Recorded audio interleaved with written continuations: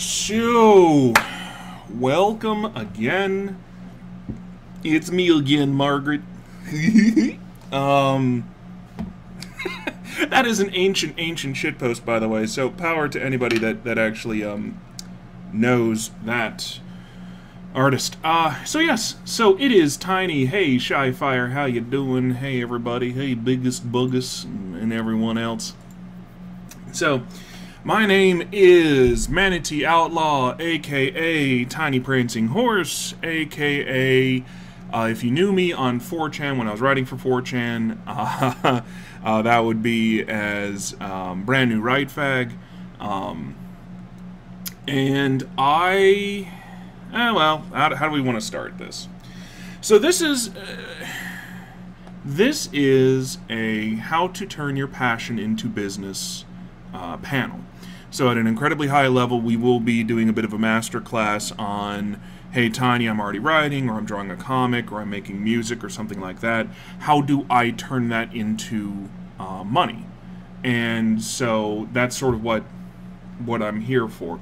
Uh, a little bit about me before we sort of dive into it. So, uh, again, the series that I do is called They Are Small, and I'm just going to post it in here just so you can see that it's a real thing. And you'll notice there's Discord links, Twitter links, and Patreon links. You go to the Patreon, I'm at about $800 a month, give or take. Um, so I'm not saying I am by any means you know, making $50,000 a year off of this and living completely off of it and yada yada, but, you know, uh, an extra 9600 bucks a year is nothing to sneeze at. So, just this year, so by the way, that $800 a month has just been word of mouth advertising. We are now moving to actually recycling some ad some revenue into ads and so we're going to see how well that goes so if i am invited back to uh, the Vanhoover pony expo for 2022 um, I'll let you guys know, and we'll make that happen. So, a little bit about me uh, is that yes, I, I, am a writer, and I am making some money off of the writing, um, but also at a high level, um, I am a small business owner. Um, I am a financial planner. I am licensed for insurance, annuity, long-term care. Uh, currently knocking out the SIE in Series 6 and Series 7, uh, but that should be done within the next 45 days. So I do money and all of that stuff for a living, and then I do this sort of stuff for fun, and I'm able to make a little bit of a profit off of it. So for this panel, it's going to be a little bit weird, um, but I not only am, am willing and able and encourage uh, questions. So if you're like, hey, I don't know how to find my target audience, or hey, I want to do this or that or the other, I would be more than happy to answer that for you. If you do have finance based questions as well, um, how do I build and accumulate wealth? How do I protect wealth from financial shocks or from uh, shocks to the market? How do I reduce my tax burden? I can sort of help you there. I am not a CPA. Uh, I'm not a tax professional, so I'm going to go ahead and give you that full and fair disclosure there. If you're going to ask me, hey, can I can I write this off on my taxes or can I do that? The answer is no. And then of course, because uh, I know this is the Vanhoover, uh, your mileage may vary if you are Canadian. I don't know. I don't know. You know what I mean? Like it, it is what it is. I'm down here in the U.S. of A. Uh, our great snowy hat has different laws and regulations and all that other good stuff. So, um, that being said, let's just go ahead and I'm going to see whether or not, hey, there we go. Alrighty, uh, and let me just make sure that it is actually going to switch over. I hope it is. Sorry, I've never I've never done this stream. Yeah, it okay, so it is a, a multi-second uh, delay. Okay. Sorry, I'm just trying to, to sort of see how all this works. So um, let's go ahead and just sort of talk about very, very bare, bare bones, basic stuff. Uh, you need to have a home for whatever it is you do. Uh, if you are a writer, if you're a musician, if you are a comic artist, if you make physical products, whatever it is, you need to have a home. And your home will vary based upon what it is you do. Uh, I would not. you should not expect me uh, to have a SoundCloud. You know what I mean? Like, uh, I'm not a musician, but the Living Tombstone should have a SoundCloud. That that makes a lot of logical sense.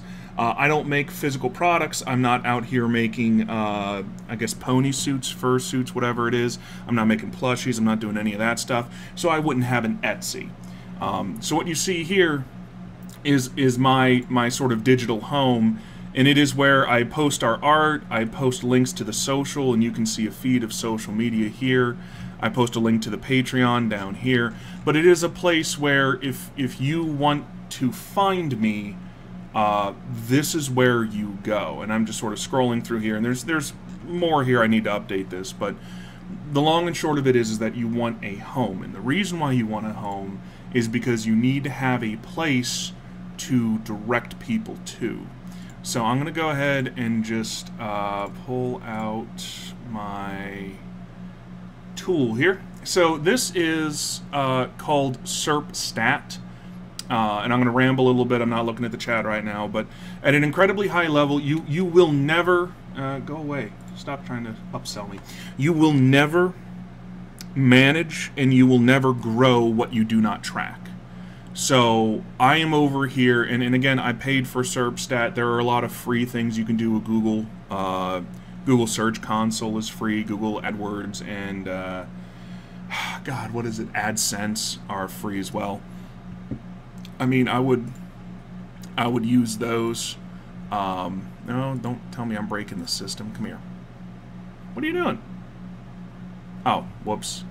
I'm being silly here.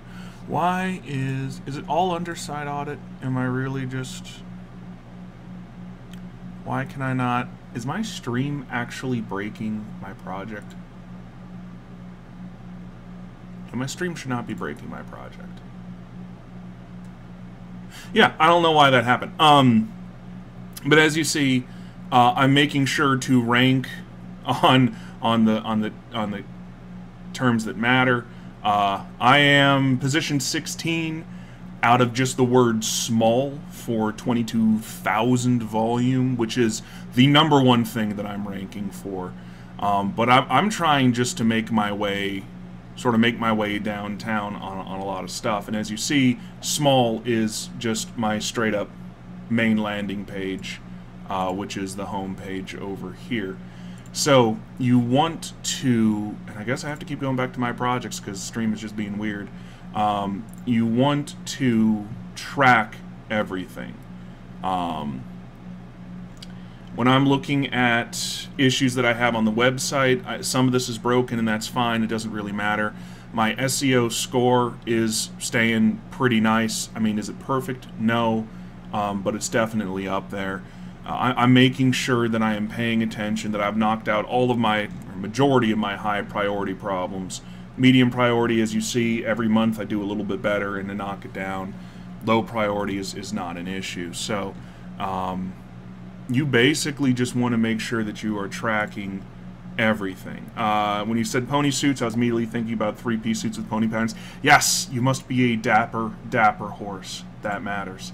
Um, so I mean, I I don't want to dive too deep into things that that don't matter. You know what I mean? Like if if you guys don't really care about this, if this is sort of like, wow, tiny, this is this is basic basic horse stuff 101. I don't really care about it. Um, then then let me know and we can sort of we'll, we'll manage with that. But I mean, I like being like being able to see what's going on. So uh, if nobody cares about that, then I'll just sort of move on to some other things uh, that might make a little bit of sense here. Um, but I'll give you a couple couple seconds just to see just to see if there's anything here. You're already lost. Okay. So the basic principle about well, I guess I should ask what what has you lost? Let me not assume that I know what your problem is. So, what has you lost, my friend? Oh. Okay, the, um... You don't have to... I guess let me let me sort of pull back here. I don't want you to get lost in the forest. Don't don't lose the forest for the trees. Um, I have a program that helps me figure out how well my website is doing, what is linking to my website, what domains are linking to my website, what keywords I am ranking for organically, and what keywords I need help to rank for. The takeaway from just this is that you need to track in order to optimize. And you need to have a home on the internet in order to start building a, a an audience.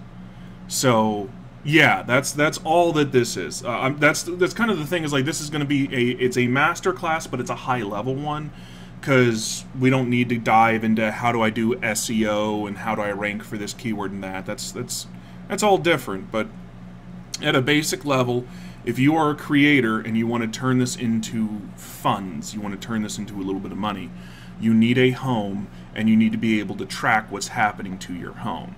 My home is the They Are Small website, this thing right here. As you can see, he's right there. Um, so the They Are Small website is my home, and I am tracking everything around it. I don't have any paid keywords yet.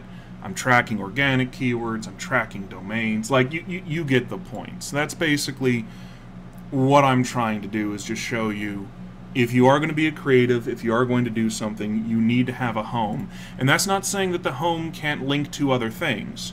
You know, Twitter, Pinterest, Instagram. I have a YouTube channel. I've got a Discord. Um, I I post these stories on Archive of Our Own.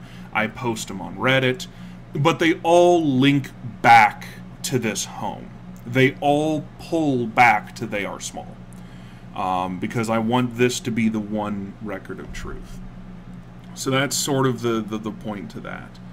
Um, if you are looking for audience, which I think is sort of everyone's next natural question, is just to say, well, um, I have my website tiny, or I'm on Spotify, or I'm on Archive of Our Own, or, you know, I, I have my place, I have my Patreon. Um, so Patreon accounts do and don't work as homes. So let me, uh, let me just go to my, is this going to take me there, or is this going to take me somewhere weird? Let's find out. Okay. So, I, have dropped a little bit from January, that's fine. So the deal with uh, Patreons, can I just look at my web? Come on. There we go. So the deal with Patreon and using Patreon as your home uh, is number one. Um, I know. I'm sorry. It's it's just that's that's just who Weez is. Um, when you get into the the soup to nuts, like the nuts and bolts bit of your page, like not not necessarily income, but you see how limited I am here. Like I can look at my patrons, and I'm not going to because there's personally identifiable information there. Um, but I don't really have the depth that I do here. So you can use a Patreon page as a as a little stopgap. I, I can sort of agree with you on that, Star Pony, but at an incredibly high level, you you are missing a lot of editability and a lot of work that you can do. Um, you also run into the problem that if you are uh, boosting your Patreon page, so patreon.com forward slash tiny prancing horse. Uh, if you're boosting that as opposed to like, you know, your own private domain, if you are ever deplatformed, uh, which, you know, is not really concern for me, but it might be a concern for some people. Uh, if you are ever deplatformed, if you ever decide to move from Patreon, and I know some people have because I'm grandfathered into an old Patreon tier, but they Patreon has changed their tiers. Um, you could be grandfathered in, or you could be moved out. Uh, you might want to, you know, if Patreon comes in and tells me, "Hey, Tiny, we're going to go from a five percent charge to a ten percent charge," and all of my work, all of my ads, all of my SEO, all of that stuff is pointing to Patreon and I don't own it, it's a lot harder to move that and you're going to naturally lose your audience or part of it as you move to another platform. So, can Patreon accounts work as homes? Yes. Uh, I wouldn't, and I would move towards getting a, a web URL as quickly as humanly possible. Um, they are ex not expensive, they're very cheap. Um, I think I'm paying like five bucks a month in terms of hosting costs, and that includes the URL and the SSL certificate and all that other good stuff. I use Namecheap, by the way. Um, so they're they're very good. I'm not sponsored by them. This this this podcast is not sponsored by Raid Shadow Legends either. Like, um, but I use Namecheap. They're very good, uh, and I, I would highly recommend them. But long story short, I wouldn't. There's also a bit of a stigma. Uh, if your home is a payment gateway, the immediate thought there is is that I'm going to have to pay to play. And I can't tell you how many times, like, if you go to my Patreon, everything there is free. I literally use Patreon as nothing more than just another archive of the writing that I do. I run on a freemium model. Um, but if I just link to you a Patreon and it's a cold open and you don't really know me, that's going to come across as uh, you need to pay in order to see and in case I- am not going to go. When should you go from Patreon to your own setup as soon as humanly possible? Um, I will put it this way: uh, when I started, I started writing on Reddit. I got an audience. I then opened up a Patreon as a tip jar. I ended up getting about a hundred dollars a month as my very first month. I took that hundred dollars and the very first thing I did is I used that to subsidize my own URL. I, I, I, I mean, it cost me like 200 bucks to pay for the full year, plus a bunch of domains, plus SSL certificates, plus backup hosting. Like, I, I went for the whole thing because I'm not actually, I'm not technically adept. I'm gonna to to put it very lightly. Um, I am bad at computar, so I sort of went with the whole kind of do it for me thing. Like this is hosted on WordPress. Um, I bought a bunch of, of things that would build WordPress for me so I didn't have to do it myself. Um, no, nothing I have is a subscription based model. Uh, everything I do is is is pre is a freemium. Sorry, not premium. So let, let me let me answer that for a second. Actually, to, to answer your previous question, get your own web domain as soon as humanly possible. That is my that is my sincerest recommendation to you. Um, even if if you buy a domain name and it's 20 bucks and you just buy the most basic bare bones $5 a month hosting and that's 60 bucks yeah you're out $80 but that's for an entire year and you you can at least throw links on your website because Google and other web crawlers and search engines not only look at how many people are linking to your website, as you see, I have 23. Um, they not only look at sort of how well you are for SEO in their web crawling, but they look at how long has your domain existed. So, even if you don't have something for the first few days or weeks or even months, the fact that that domain exists and and is a real thing gives you a little bit of points to Google. So that's just a side note. I would be doing that. I would be doing that immediately. For me, um, so if you go to patreon.com forward slash tiny prancing horse, and what we will do is we'll open up an incognitus window just to make sure. Um, yeah, I'm 18 or older, which is fine. And I just do that because I, I don't want to. So here we are. Here's my goals. Everything I do is is open. You can read it here. Uh, you could go to reddit.com and then uh, shark, wow, shark cop, shork cop. Uh, I, I guess I didn't rank for it yet. I did do short cop. Let me just pull it from my previous server here. Uh, and then just uh, grab it. Control C, Control V. Um, and as you see here, the entire thing is here. Oh, 183, that's nice. Um, as you see, the entire thing is here. It's it is a freemium model. Uh, ba -ba -ba there it is. So light danced across Mona's eyes, light danced across Mona's eyes. Um, it's it's literally the same thing. So how I do it, and this might not work for you. It all depends upon. Oh, oh, well that that's that's helpful. Yay! I don't know how to um. I don't know how to use this streaming software. So uh, just pretend really hard that that didn't happen. And now you know my, my first name is Eric, so that's fine. Um, but here you go. So like light danced across Amona's eyes, and then if we go to my posts and we go to my published posts, and we go to short cop and we view it, we see light danced across Amona's eyes. So it's for me, I do a freemium model. Um, yeah, I know, I know, Etchy. Uh, so I do a freemium model. So what ends up happening is um, there are some things that are gate kept.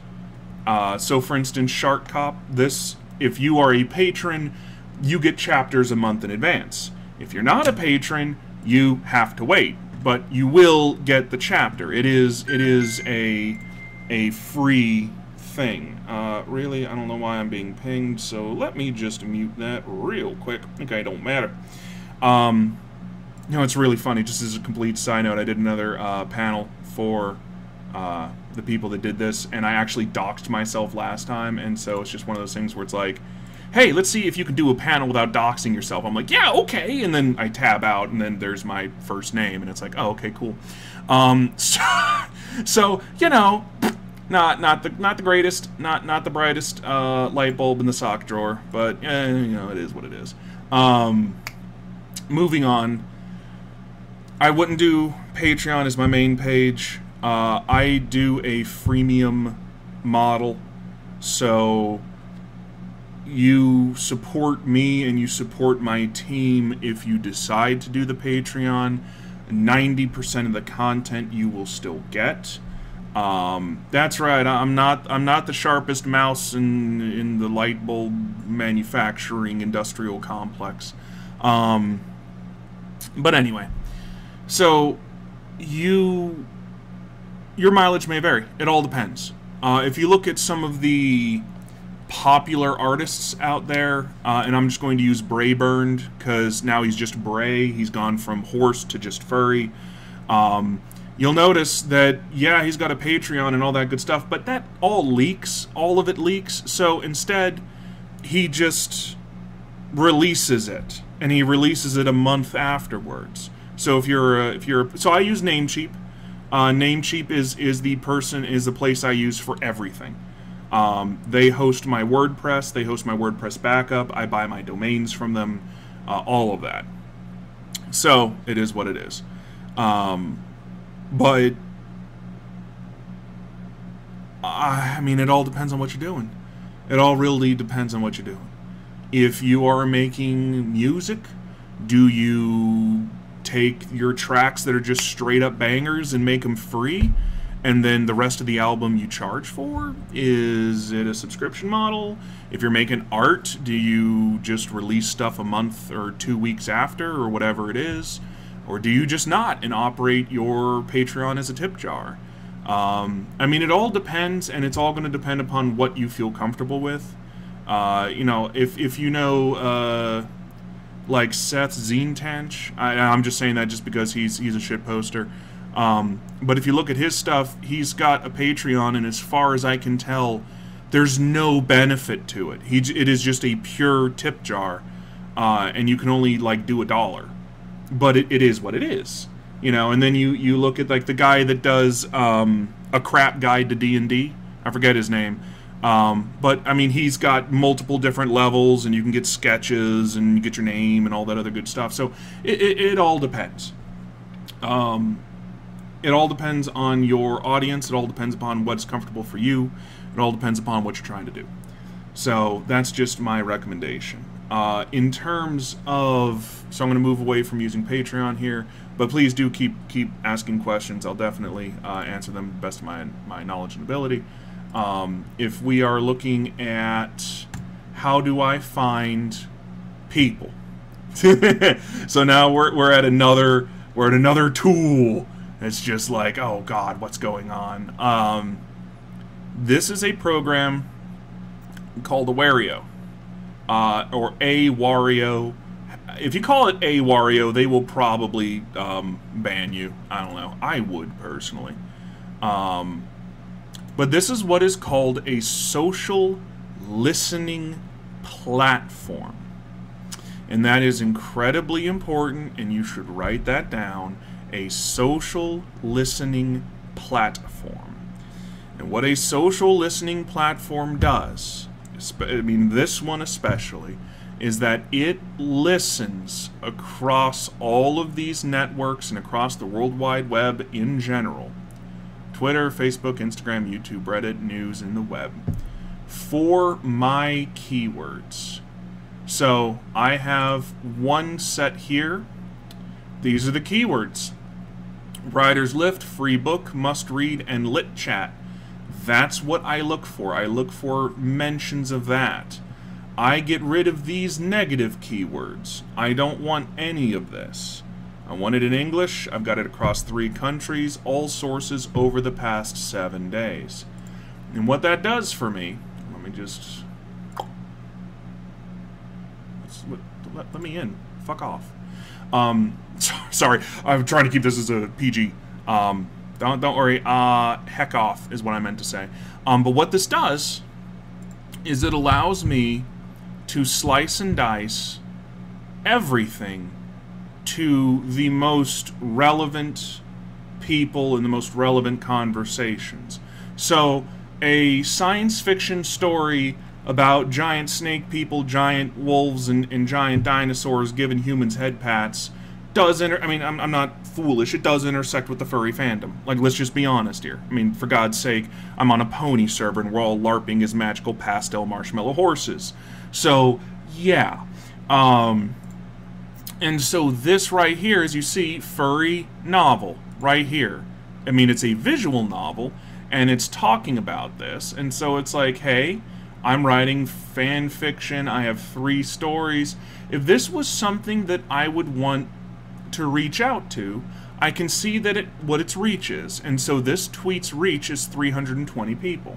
And as you see over here, they've got 318 followers, so that's about right. Do I want to engage with somebody with 318 followers about their own visual novel? Well, no, I don't. And it has a negative sentiment here because I think there's a little bit of negative work or words here. So I'm going to say no, and I delete it, and then I move down. Are there any furry coloring books out there? Small business furry artist coloring books. Well, small business furry artist, eh, maybe I could. 287 people, I'm not interested. This one right here, look at that. Uh, 1.6 thousand.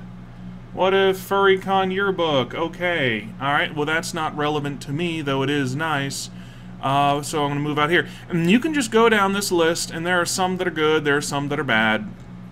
And you can find quote unquote leads. Ha! The meme number. The meme number. It's the sex number, everybody. Um, you can find. You know, actually, let's just get rid of that. This is distracting. This. There. Now we are. Oh, what was that? Hold on a second. Was that actually a good one? Love story, Furry Shades of Gay? No, it is not. Okay. That's also cracked. Don't steal from independent people. Come on now. Alrighty.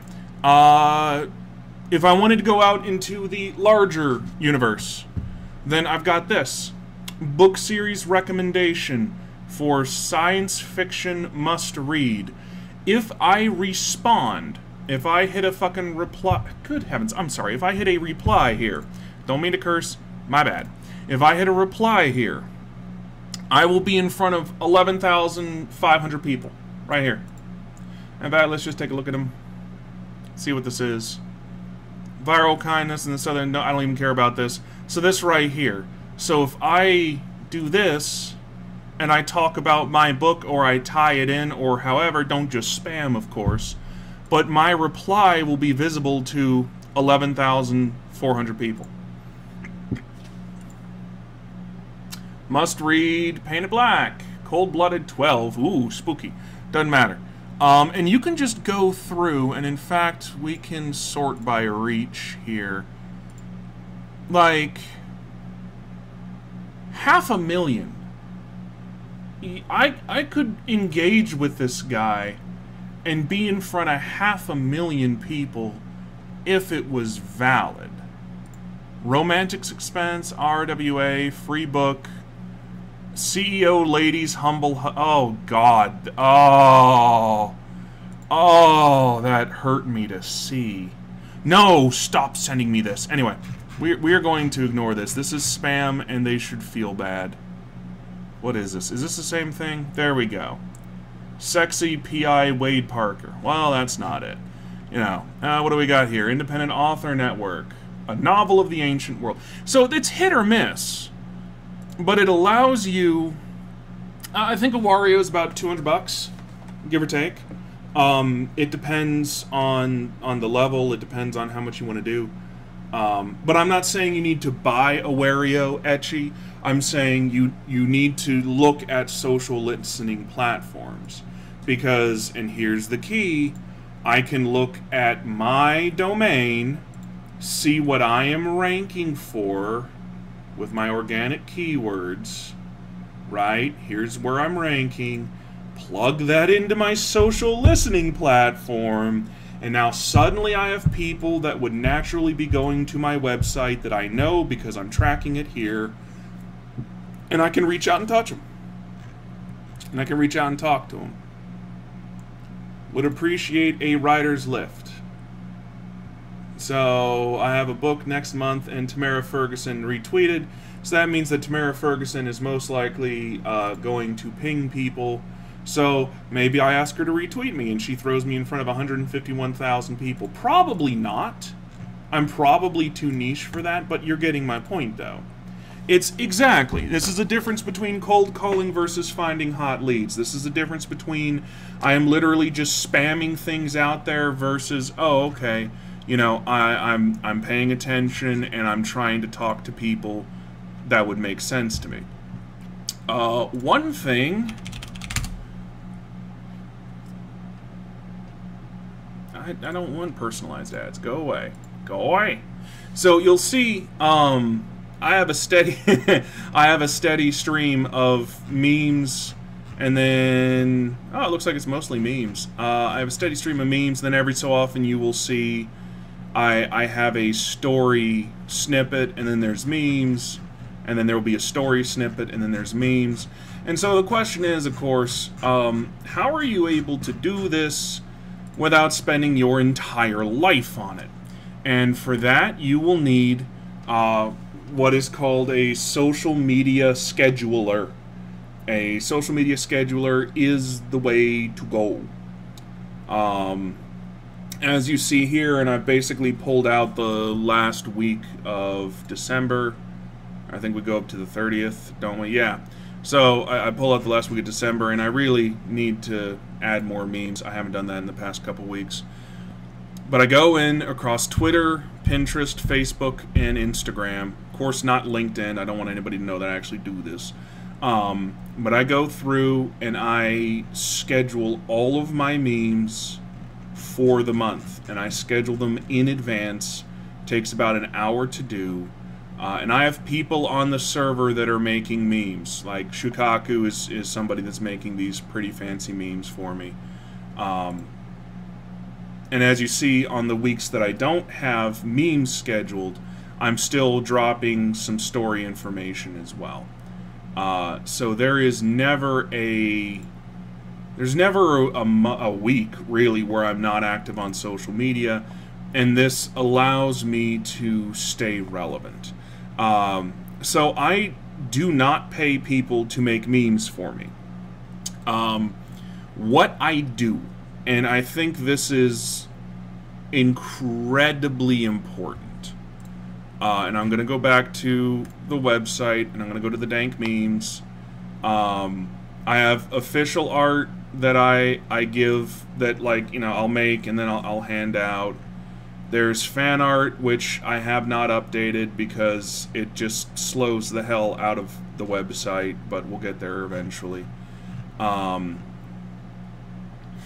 and then these shit posts are all out of date as well. But as you see, as my emojis sort of roll in, you might notice something as you look at them, other than the fact that they are all shitposts of the highest quality.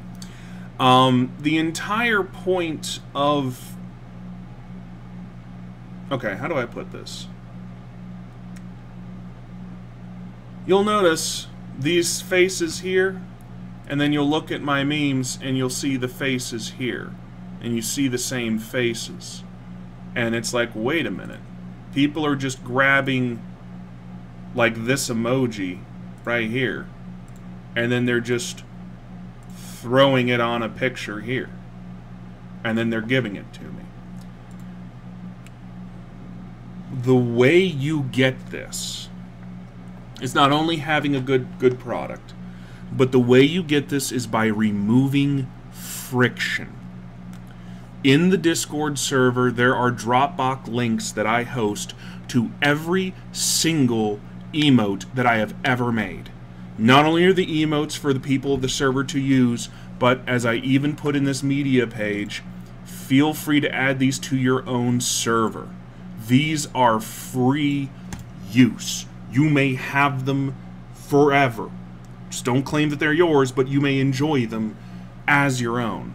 Um, you've heard of the foolish and non-enforceable closed species. Uh, like, I think the people that are doing protogens or primagens have it as a closed species. That doesn't actually exist. Um, American copyright law uh, and, and trademark law is very black and white because Disney runs that joint.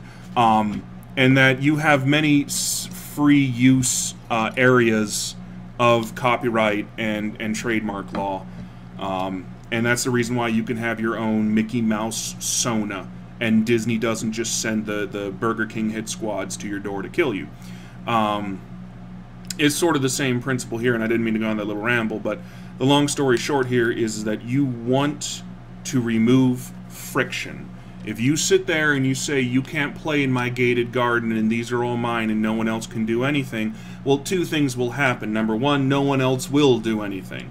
Nobody will touch your stuff. Nobody will will will play in your sandbox because of the fear that you are going to make a big stink about it. Um, and then number two, the people that are going to play in your sandbox are going to do so antagonistically, so to speak. They will do it and they will not care. Uh, they will do it and it will not be flattering to your intellectual property. They will do it and they might as well just make money off of it because screw you. Uh, so what you want to do is you want to reduce the friction.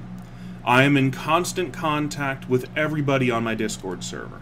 And by that, I mean I make myself available to everybody on the Discord server. There is never a time where I'm over here like, no, don't talk to me, or, or you know, get away, or whatever, whatnot, what have you.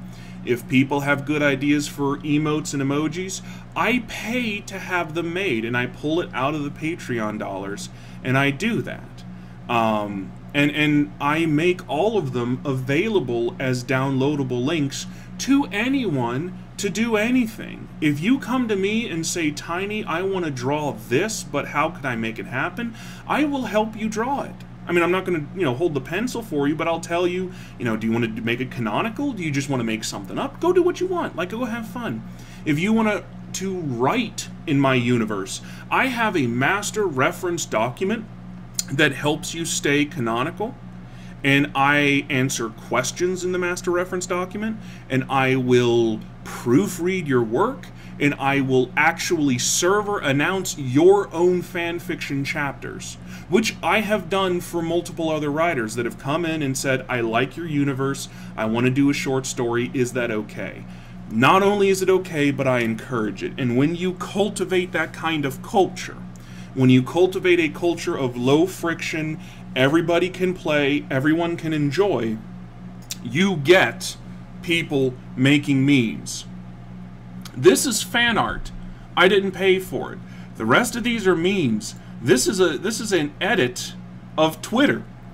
And and and I'm not I am not paying a dime for it. I'm not doing anything for it. This expression right here, this happy expression, somebody just edited one of the server emotes. And that's it. There's no I'm not doing anything. This, if this will run, this is somebody is just doing this.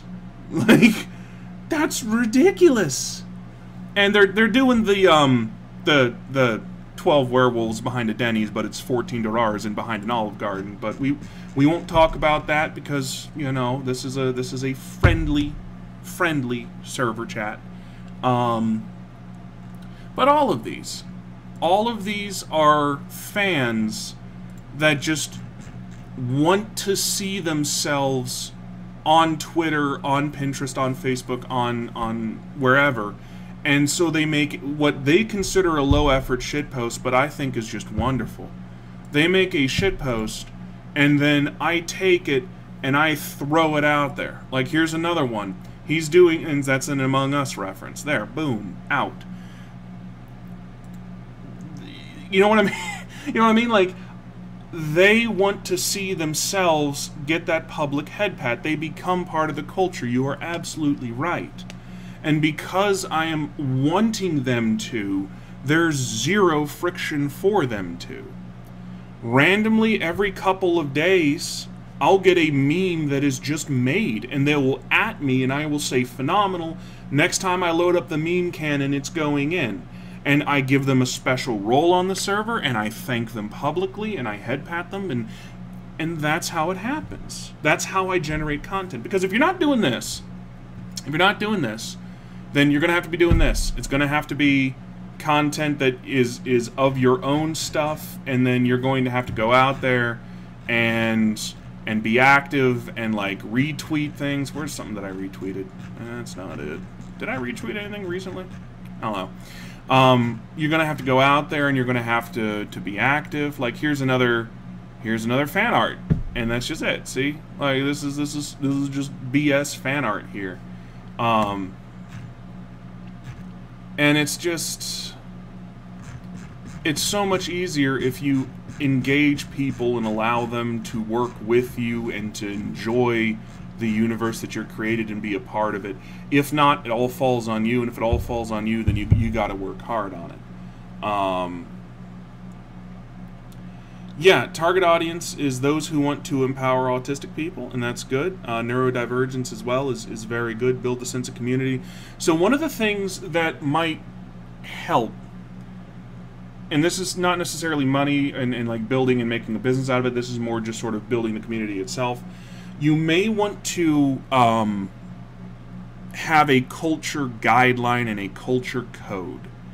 Um, there is a phenomenal book actually called The Culture Code, and I don't remember who it is by.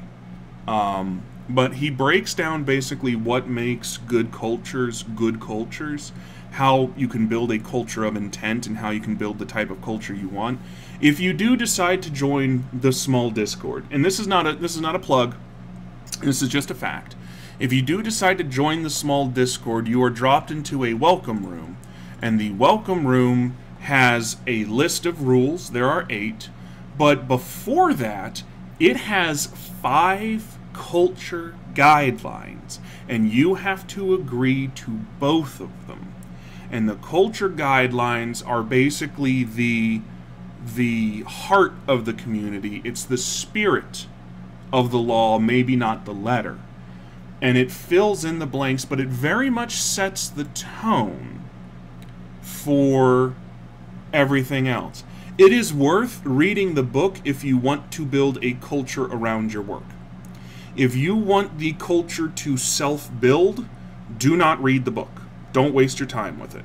If you want to build the culture yourself, read the book, take notes, and do it with intent. That's that's all I can really say about that. That's what I would recommend. Um, what else? I guess since we have 15 minutes and I, and I sort of covered some of the major points, I've basically been rambling. Um, does anyone have any questions? Does anyone have anything that they want to talk about? And if you do just want to talk about the market in general, I'd be more than happy to discuss that, but just note that I am still in the process of getting my SIE 6 and 7. I cannot talk about the Canadian financial system in any way, shape, or form. I am not a tax advisor. Um, starting from zero. That's the hardest. um, I'm not going to lie, starting from zero is, is the hardest what you need to do if you are starting from zero is you do not create your work and then try to force a community around it. You go to an existing community. So if if we were to uh, reddit.com and let's see if it will let me in. There's like my most recent posts. We'll just go here. It don't matter. Eh. Oh no, my subscription. Uh, so we go here. So I started on the HFY subreddit. All that to get to here. Um, I started on the Humanity Fuck Yeah subreddit. Again, excuse the language, but it's right there, so whatever. Um, and I built my initial market. I built my initial fan base on this subreddit that already has 159,000 people. Now, is it 50 million people and I'm going to be the next J.K. Rowling and blah, blah, blah, and then I'll be outed as a transphobe and just, you know, have this great fall from grace? No. Also because I'm not transphobic. But, you know, it's only 150,000 people if even like roughly 10% initially read my work and maybe half of them have stuck around. Like I have about an 8 to 9,000 person readership base. Um, but this is where people already are. Because of the nature of the platform of it being Reddit, they are open to reading fan works and because they are open to reading fan works and because I am in the right community, when I step forward and say, I have a science fiction story about humans being awesome set in the near to far future, I have a baked in audience. If you can't find a subreddit that's like this, you may want to do Royal Road.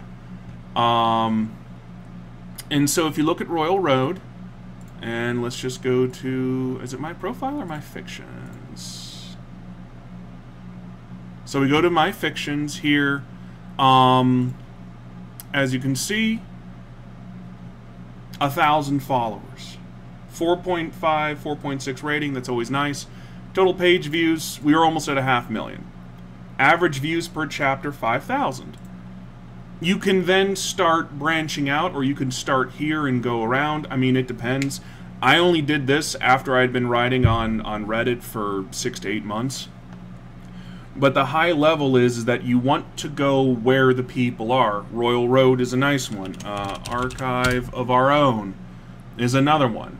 Fan created, non-profit, non-commercial archive. This would be a nice place for you to. I don't know why it's still in beta. It's been around for 15 years. Um, this is where you want to go. You never make something and then assume people will come. Build it and they will come is the biggest lie ever told. You don't ever do that. No one ever does that. Don't do it. What you do is, is you find some place that has something, has some intersection to your story, start there, build an audience. You know, I had been posting on HFY for over a year before I went to Royal Road. And then because of that, there are some people who have uh, comments here, not only reviews, I, I do thank all of these people. Um, but I get some people that are just straight up like, hey, uh, I saw this on Reddit. I'm so glad it's here. I like reading it here better. And you know, this guy's over here like just straight up like I've lost sleep. I can't I can't stop reading it and that's that's always a phenomenal uh, thing. But that's where you get your audience. Now, there's something called the audience effect, and there's a multiplier effect.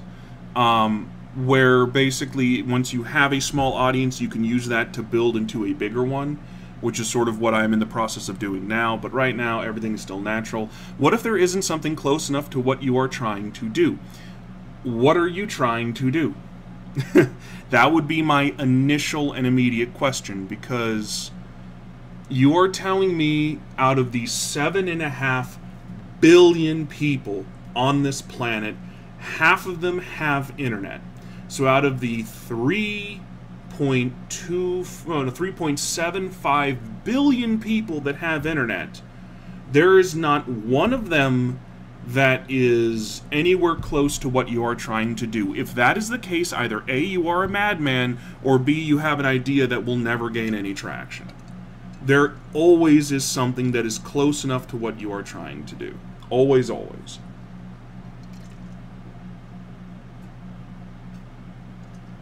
Now, it might take you a little bit, and sorry, I was a little drink break. It might take you a little bit of time to uh, find them. I'm not going to pretend that they're just going to be out there, but yeah, okay. Like, like, like, let's look at let's look at they are small real quick. Um, let's look at they are small, not short cop, but short cop's there too.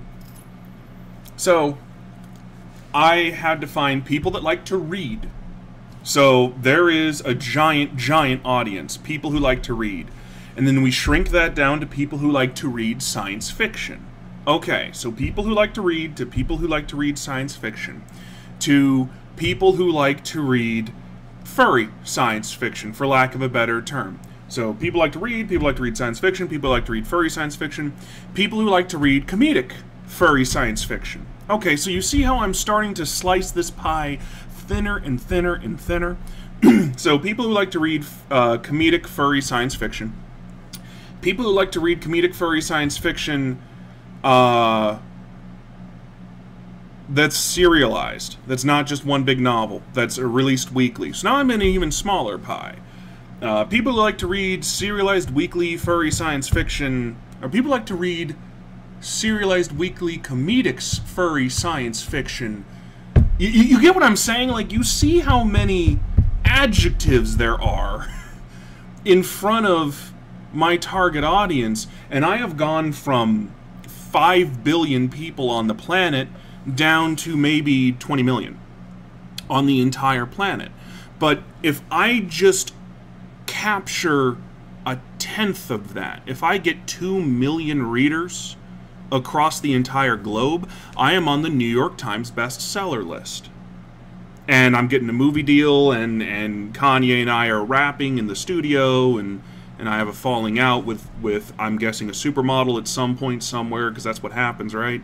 Like, you don't need to have, don't try to swallow the ocean. Don't jump out there and say, well, if I can't swallow the ocean, then what I have is too niche. Define what you're doing and go down as far as it does to make sense and then start looking for audiences in that bubble or in that bucket or however you want to in that corral in in that stable because we're horses. You know what you're trying to do like let's let's go for star pony. Uh, star pony is trying to build something for people who are autistic neurodivergent and their allies. So now we've closed it. Uh, and it is writing, if I remember correctly. So they want to find uh, autistic, neurodivergent, and their allies who enjoy reading. You know, like like you, you see how that bubble shrinks, but the target audience becomes more and more defined. As you define your target audience, you will find out where they live better. And and then you can start targeting that.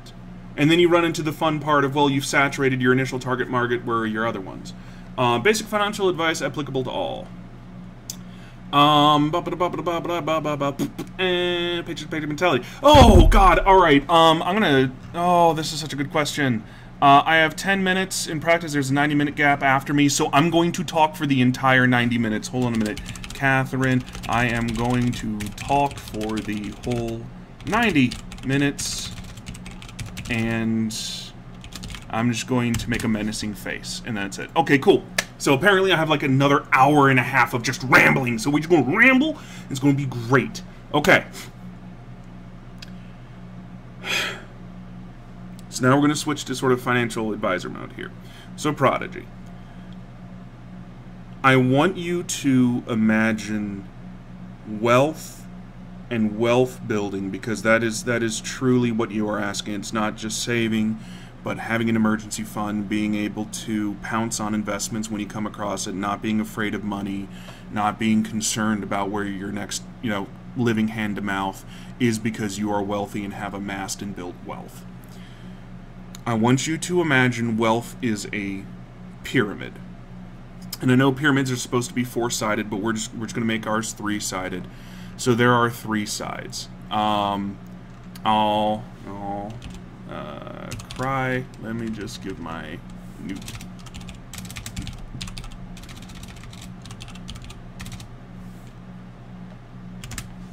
Okay. Um, so I want you to imagine that um, as a three-sided pyramid. So if we are looking down at the top of the pyramid, there are three sides to this this wealth triangle. The first side is your income from your job. The second side is the income from your investments. And the third side at the bottom is the... So, Combo Breaker, just as a side note, I, I was pinged by uh, Catherine that I can continue? Maybe? Uh, so, Combo, can you give me that, that yes or no real quick? Because I don't want to... I don't want to continue rambling if that's not actually the case. So, just real quick. Oh, God, we're everywhere. Uh, let's get rid of this window here. Boop, there we go. Um, so can you give me the the heads up as to whether or not uh, combo uh, if there's oh they have stuff planned for the gap well dang uh I guess the question will just have to to live in in giant question mark um Prodigy at a very high level, I guess, what I would recommend. Um, I mean, I could do a personal stream, or I could just talk and you could continue the vendor advertisements. If that's possible combo, I don't mind doing that. Uh, Discord stream, we could do a Discord. We could do a Discord chat, actually. Uh, where can we do that? Yeah, just let me know. I'm fine. So, um, at a super high level, Prodigy, um, automate everything. If you automate it, uh, you don't have a chance to screw it up. it's, it's at an incredibly high level. Uh, if you automate your savings, if you automate your investings, that's where I would do. The three sides of your pyramid, if you're at a top down looking down and so it looks like a triangle. The first side on the left is going to be your job. The second side on the right is going to be your investments. And the third side at the bottom is going to be your side hustle which is basically what we have spent all this time talking about today. Your goal is to expand the footprint of this triangle. You want this to be a large triangle, and it doesn't matter if it becomes an acute or an obtuse triangle, that's fine. Don't worry about it.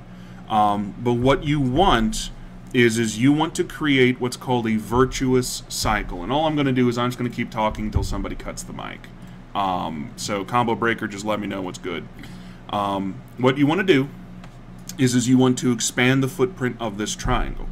So your job right now pays money into its investments, into your savings and all that other good stuff, and pays money into yeah, well, I mean we can do Discord like that's kind of the thing is I'm just trying to see sort of who does what and where and and what they want me to do because I don't want to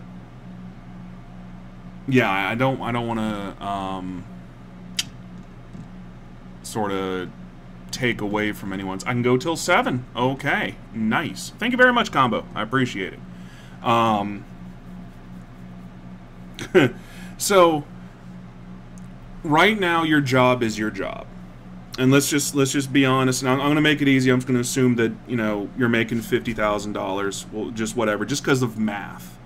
Um, but your job is your job, and you are doing whatever it is that you are doing.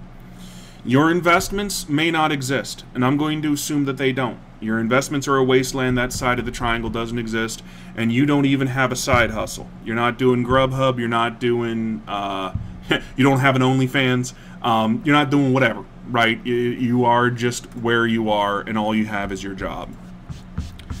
So, the goal here is to create a virtuous cycle between the three sides of your triangle.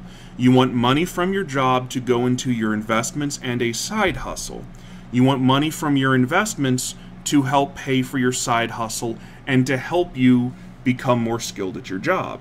So, for instance, if you were making $50,000 and you are in IT, it would be super nice if one of your investments could be sold and then pay for Six Sigma certification or to pay for an a, an a plus certification or Microsoft certification or Google cert or whatever it is, and then suddenly you can go to either your boss or to a different company, and instead of making 50 grand, you're making 60 because now you have a certification.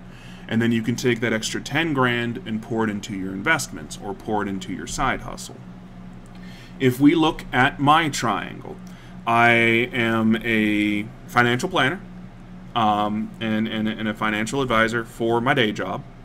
Um, I have my investments, uh, 401k, a Roth IRA. I do have savings, and I, I do have other things that I'm, I'm speculating in. And then at the bottom, I have my writing, which is 800 bucks a month. Now it's 700, but whatever. Um, when I lost my job due to COVID, way back in the beginning of, of this year, and I started getting on unemployment. I still had my side hustle going on, so I was still able to make ends meet. And then my side hustle paid for my certifications to be life insurance licensed, to be annuities registered, to, to all that other stuff. My my side hustle paid that, and then I was able to take my new licensing and go to another company and say, "Hey, you should hire me," and then they did. So now that I have a job, I'm taking the money from my job and I am pouring it into my side hustle. And I'm doing Facebook ads and I'll be doing uh, Google ads and I'm, I'm paying for this and we're, and we're doing that. I have a visual novel coming out. Like, I'm raising the visual, I'm raising the um, visibility of my side hustle. And what will that do? Well, maybe instead of being at $700 a month for the Patreon and 5,000 readers, if my visual novel becomes a, a, little hit, if I'm able to do a journalist ladder, if my Facebook advertising takes off, maybe now I'm at $1,100 at my Patreon and 10,000 readers. Okay, well, now that I have $1,100, you, you get what I'm saying? You create this virtuous cycle between the three sides of your triangle and that naturally will help you grow. If I had $1,100 a month coming in from my side business, well, if I can pour $500 a month of that into stocks, bonds, CDs, mutual funds, and it pays me 5% a year, okay, so at the end of the year, I've put six grand into investment vehicles that are paying me 5% of that 5% of six grand, that would have been uh, $600. So that's 300 bucks. I'm getting 300 bucks a year. You know, what is that? 20 bucks a month for free forever? And I can take that 20 bucks a month and I can now pay for my my hosting of my website forever from that 6 grand of investments that I made. So, that's a good question, Etchy. It all depends. Uh, my entire goal, so what I do is, is I try and get you to work optional as quick as possible. So if my side hustle, and this is just true, so let's just pretend I become a, a, a Twitch streamer, e-thought, I'm selling my bathwater, you know, all that other good stuff, and I'm making I'm making a million dollars a year from my quote unquote side hustle. Your side hustle could either A, stay as a side hustle. I like working in the financial services sector so much, I might not ever quit. I might just keep doing that. Um, but if, if your side hustle becomes your main hustle, if your writing is able to pay for your bills, if your art is able to to support your lifestyle, then you you basically take that part of the triangle. It is now your day job, and now you need another side hustle. And your side hustle for your side hustle could be as simple as physical merchandise. It could be as simple as I sell I sell the originals. If I'm doing painting, I sell the originals and that's my side hustle to my side hustle. It could be that, you know, if if I'm doing um, music, that my side hustle to my side hustle instead of like my actual albums and whatnot is that I go and I do royalty free music or I go and I partner on on different programs and if I do the entire musical score for this indie video game I don't want any money I want 5% of sales I want a 5% net profit and then I have 7 or 8 or 10 video games that are using my soundtrack and they they pay me a royalty check every every month. You know what I'm saying? Like there are tons of ways to do that. But the goal is not necessarily to say I'm now my own boss. Your goal here is to build your triangle large enough that work becomes optional. If my side hustle produces enough money monthly that I don't have to worry about my day job, I am functionally retired. If my investments provide enough passive income that I do not have to worry about making ends meet, I am functionally retired. That is the dream and that is the goal. When people say they want to be wealthy, when people say they want to be a millionaire or this or that or the other, that's not actually what their fears are and that's not actually what their goal is. Their goal is instead, I just want to not worry about money. I just want to live comfortably. I just want to be able to quit the job that is killing me and not have to worry about where rent is coming. That's the footprint. And that's the virtuous cycle that you want. Remember I said this is a pyramid, so now you are now standing in the desert and you're now looking on the side view of the pyramid. And there are three levels to the side view. There is the base of the pyramid, the foot. There is the middle of the pyramid. And then floating above the pyramid is this eye. It's really weird. Don't understand. It says e pluribus unum. I, I don't know French. Doesn't matter. So, what are these three tiers?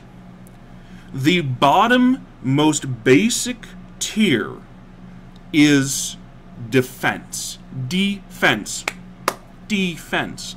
You need to play.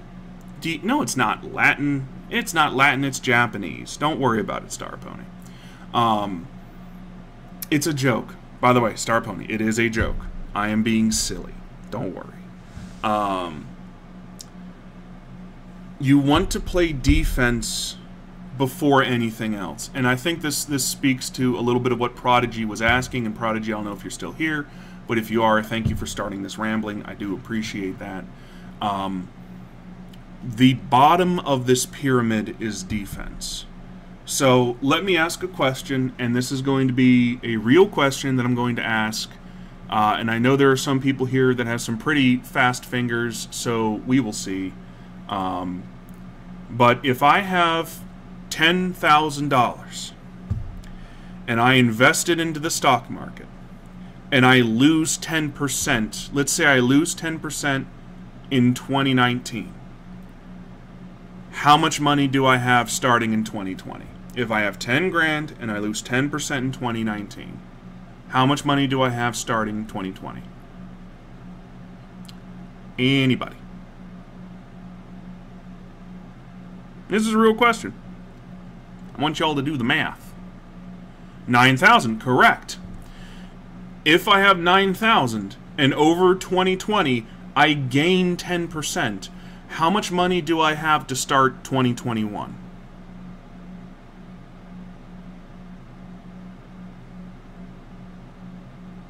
So if I have 9,000, I gain 10% over 2020, How much money do I have to start in 2021?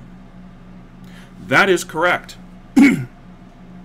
so you look at that, and a loss is harder to recoup than a gain. Managing your downside risk. No, Prodigy. Come on now. Um, no, no, Etchy. No, no, Prodigy. No, no. CR is correct. If I have $10,000 and I lose 10%, I am at $9,000. If I am at $9,000 and I gain 10%, I am at $9,900.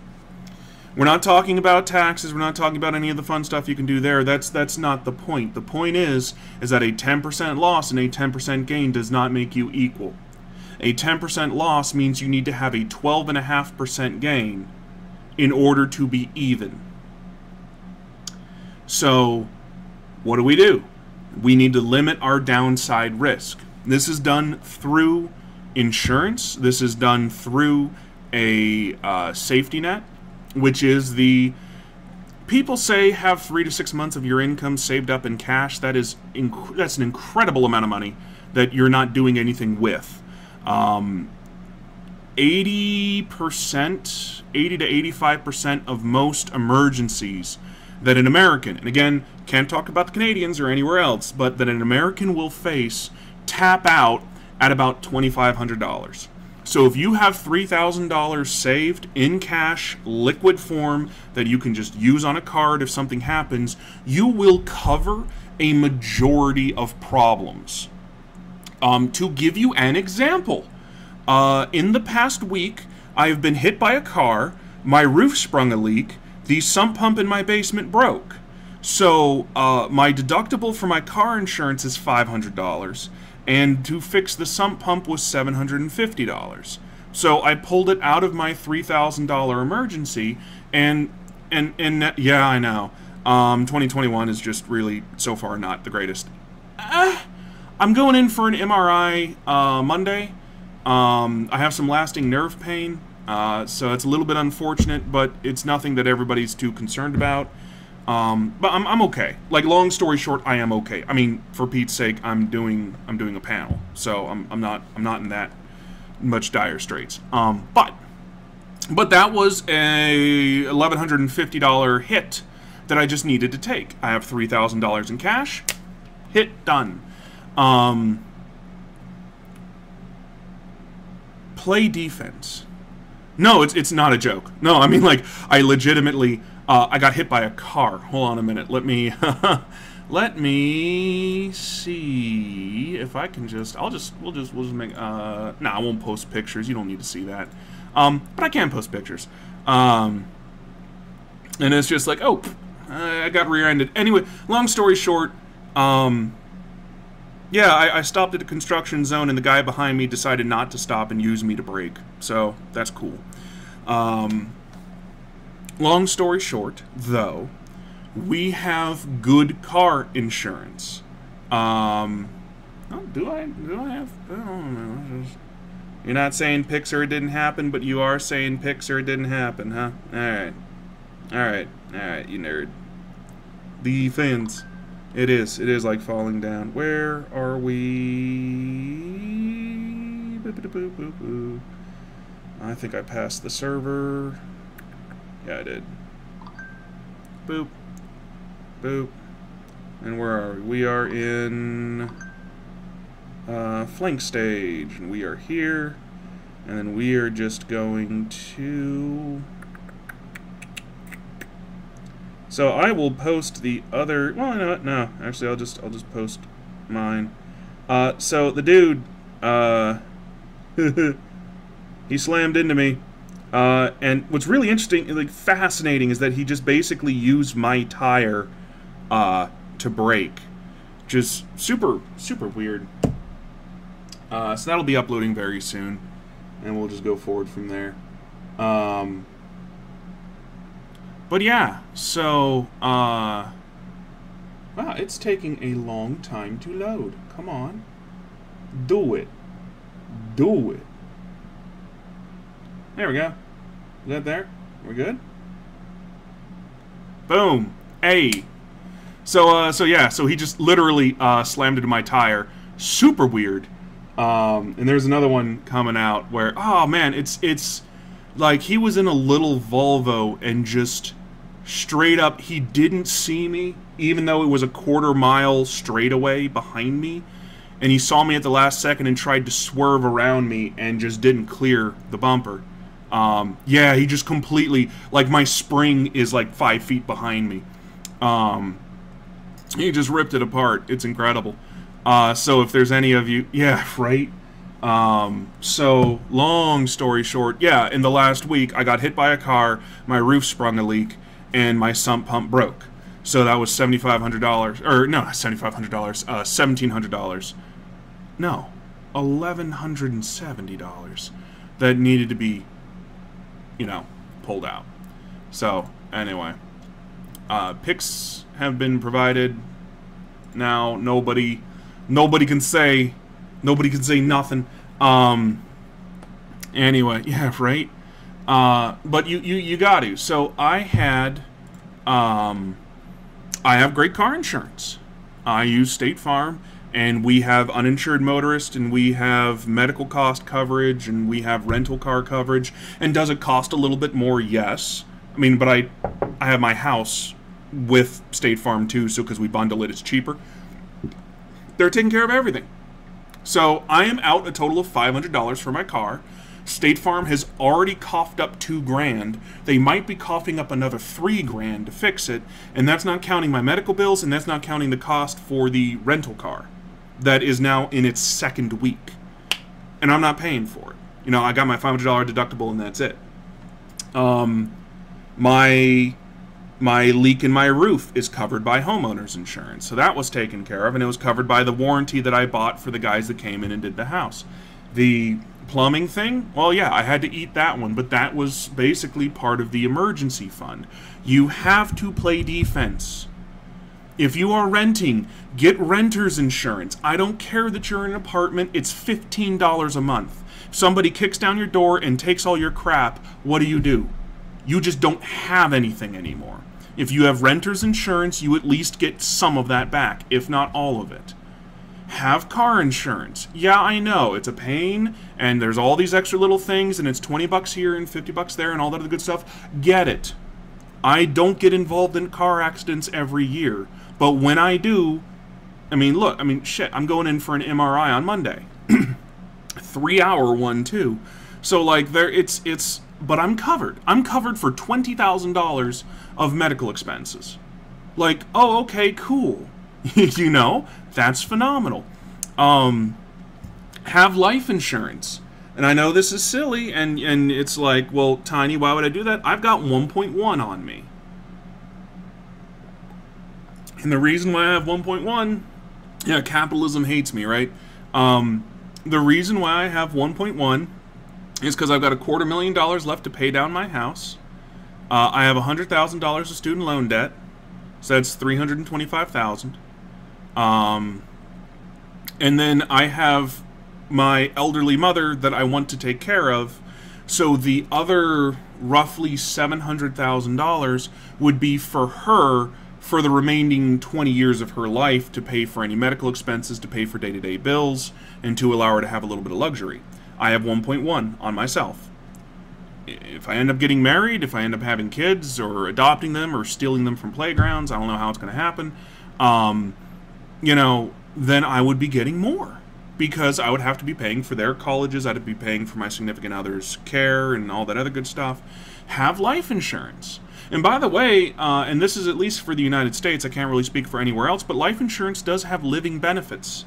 If you develop a chronic issue, you can accelerate, at least for my company, you can accelerate 90% of your benefits as tax free cash money to do whatever you want to with it. So if you've got a half million dollars sitting in a term insurance policy, you can accelerate 450 grand of that if you develop cancer or if you develop kidney failure or any of that other stuff. So there's a bunch of stuff that you can do. Have have insurance.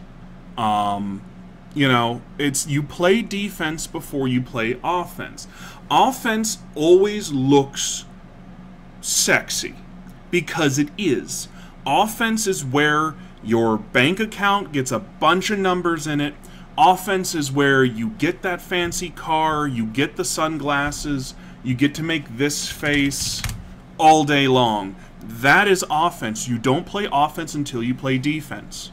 Because with simple math, we have proven that a hit to your bottom line does more damage than a gain. You have to have outsized gains to make up for normal hits. If you take a 10% hit, you need a 12.5%. You know. But you get my point, Star Pony. Maybe it's not college, maybe it is trade school, maybe it is investing in small business. I would rather my child have $100,000 in cash to do whatever they want to with it than not have anything. It, I mean, it does not matter. It is what it is. Um, playing defense, have a will. There are three things that you need. I don't care how old you are. You need a will, you need a medical directive, and you need a power of attorney. I know you're saying I've only heard one out of the three of those. A will is stops you from at least in the United States. Again, not speaking about Canada, and again, I'm also not a tax attorney, so blah blah blah. Um, you know, yeah, he probably does. A will stops your your estate from going to probate court.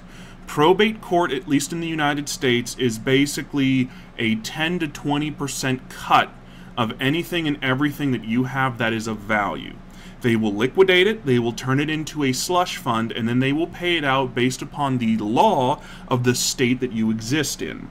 So it is a punitive, and I do use the word punitive there purposely. It is a punitive measure because you were not bothered to spend $100 to ask a lawyer to build a will for you.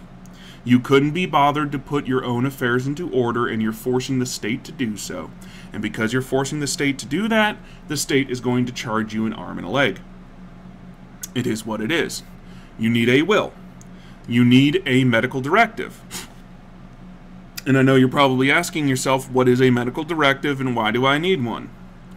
Let's say that accident was a lot worse. Let's say instead of behind me, he T-boned me, and instead of me just having a little bit of nerve pain, I'm in a medically induced coma. Which could have happened. So, a medical directive basically legally states what my wishes are if I am incapacitated. If I am unconscious, if I am in a coma, either medically or just physically, if I am brain dead, if something has happened to me and I am incapacitated physically, a medical directive is something that doctors and lawyers and the state and my family can look at and say these are Tiny's wishes for care. So, for instance, in my medical directive, I say yes, give me transfusions of blood. Yes, you know, give me um, give me organ transplants. Um, yes, put me on life, oh, not life alert. Put me on uh, the ICU, you know, breathing machines. Um, if I am brain dead, let me live for another six months and then pull the plug. Because if if I'm not back after six months, then I'm not coming back. Pull the plug, let me go. It, it is something that lets everyone know where you stand and what you want to do and it leaves no confusion. Oh my God, am I still here? Yes, I am. Okay. Um, it leaves no confusion for you or anyone around you. A power of attorney is somewhat along those lines. It allows someone you trust under certain triggered circumstances to act as you legally. That doesn't mean that they can commit a crime and say, it wasn't me, it was... Oh, I'm going to pick on a mod here. It wasn't me, it was Combo Breaker all along. See, I have his power of attorney. Haha. that's not, that's not how that works. Um, what it basically says is, is like, if I am incapacitated, which is what I have, is if I'm medically incapacitated, whoever has my power of attorney is legally allowed to pay my bills. They are legally allowed to settle debts. They are legally allowed to pay things off and, and you know, this, that, and the other. Um, you need all three. It is part of playing defense. it stops you it stops your downside risk. So stopping your downside risk is 99% of the way to build wealth. Yes, you expand your triangle, but it's not what you make, it's what you keep.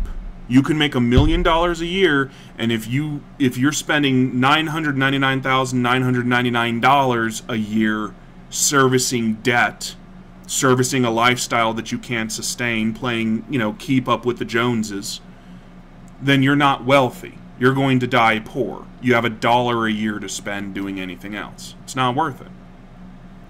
If you are making $50,000 a year, but your expenses are only $20,000 and you have 30 grand a year to play with, you are going to be retired within a decade. Real talk, yes, you will. Like, there's a bunch of stuff you can do. It's not what you make, it's what you keep. It's not what you pay, it's what you get for what you pay. It's not about how much you can make, it's about lowering that downside risk. Play defense first. So hopefully I've hammered that into your head because now we can talk about offense. And offense is fun. Offense is a lot of fun because it's all about making a lot of money. It's about that, you know, that that that you know, stonks go up. It's about the Bitcoin and all that other good stuff. Um, there's no reason not to be, to start a side hustle. Uh, and that's kind of the thing. Yes, it's more viable to work on the personal income side. Yes, you will be making your larger gains that way. But a side hustle could be that you work for DoorDash. A side hustle could be you drive for Uber. Um, a side hustle could be anything. It's just bringing in additional money when you are not at your normal job. So don't think of side hustle as just writing or art or, or whatever. A side hustle can be literally anything, but it is it is something that you yourself manage and can grow. That's the most important part. Um, let's talk about offense. Well, first let me just let's let's first just see who's even here, because it says I'm I'm only streaming for 19 viewers. There are only 19 people here. I know Etchy's here. Uh, I know Spot's probably here, Star Pony's here. Anybody else here? CR is good. Biggest Buggus, are you here? Where did uh, Prodigy go? Alright, Spot's here, CR's here. Alright, we good, good. Um, so here's the second part. Here's the fun part. Here's how you make money. Here's how stonks only go up. So, Canada has its equivalents. I cannot speak to the Canadian equivalents, but just know that they exist. That being said, hello, King Boy. Uh, you're a bot and you don't count. You're not a real person. So, um, if you are in the United States,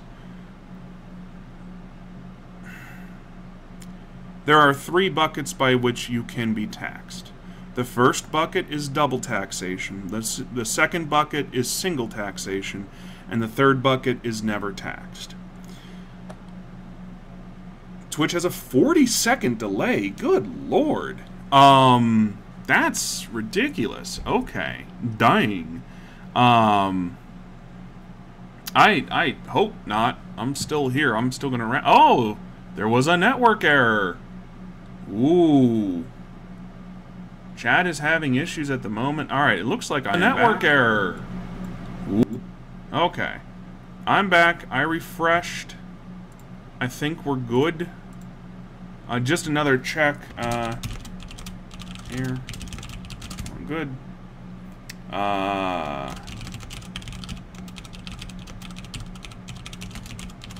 Alright. I'm just going to keep rambling. I'm going to keep rambling and nobody can stop me. Um... So there are three buckets by which you can put your income in. There is uh, the double and triple taxation bucket, there is a single tax bucket, and there is a never tax bucket. If you have a private investment account, you are on Robinhood, you are on Webull, you have a TD Ameritrade, you are in the second and or the double and triple taxation bucket. And I'm sorry, but that's just the case. That bucket should be the last bucket that you put your money in, and it should be the last bucket that you work on. That bucket also includes business income. Uh, my Patreon is double and triple taxed. Um, no, there's no tax fraud here. Um, that would definitely be a felony, and I do not advocate tax fraud. Let me just, on the record, pay your taxes. Pay your taxes. Um, so, if you have a normal investment account, now follow me here, your income is taxed before it goes into your bank account. You then take your already single taxed money and you put it in an investment account. If your investment grows and you sell it, you are taxed again. If your investment pays you dividends, you are taxed on your dividends. And then if you sell the underlying investment, you are taxed on that. If you take your dividends and reinvest them into the investment, you are not only still taxed on the dividend, but you are then taxed when you sell it again. You are in a double, triple taxation bucket. That is just the name of the game. That is the fact. So, single taxation. If you have heard of a 401k, this is a single taxation bucket. And again, Canada has its own version of this. And, and check with, if you are employed check with your employer as to whether or not they offer a 401k. Odds are uh, they do. Uh, Van Vanhoover flank stage is that? What is that? Do I need to click? It? I'm gonna click it. Let's see what happens. Is that me? There's me. All right, cool, comfy, comfy. I'm gonna close it now because I don't really know what's going on. Um, a 401k takes money out of your paycheck before you are taxed. So if you make $50,000 a year and you have 10% of your money going to a 401k, 5 grand a year will go out into a 401k account in your name and the government will tax you as if you made $45,000 a year. So it is a pre tax investment account. When you turn ripe old age, 70 is when minimum required distributions happen, but if you retire at 65 or you retire at 60, whatever it might be, um, when you retire, that money is then taxed.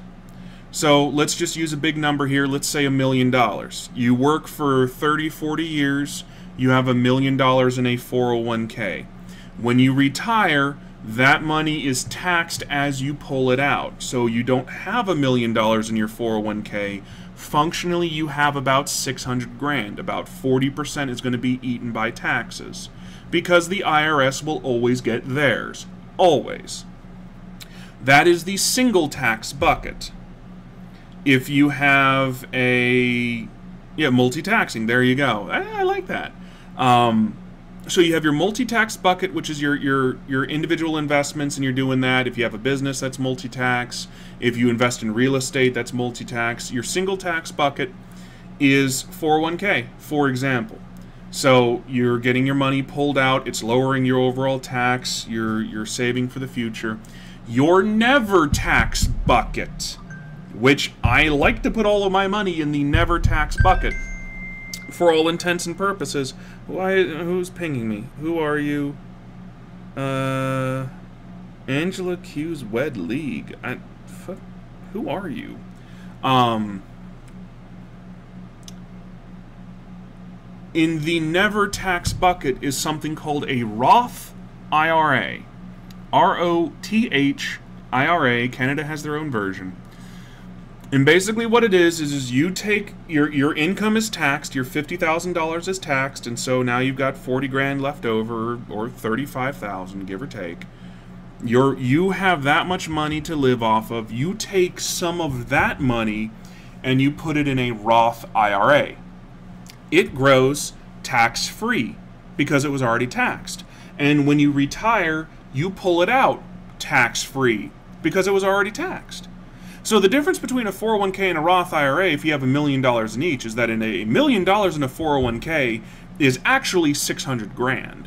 A million dollars in a Roth IRA is a million dollars. You can do whatever you want to with it, and it's it's your money.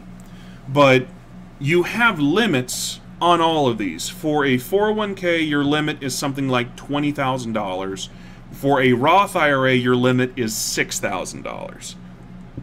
Because again, the IRS wants to make money. They don't want you just to put everything in a tax advantaged account and then that's that. I would, if I was anyone here and we're talking about the accumulation phase and we are just starting out and all I have is my normal job and I don't have a side business and all that other good stuff, first thing I would do is just, of course, $3,000 into a savings account just as an emergency buffer, just to save me if something bad happens.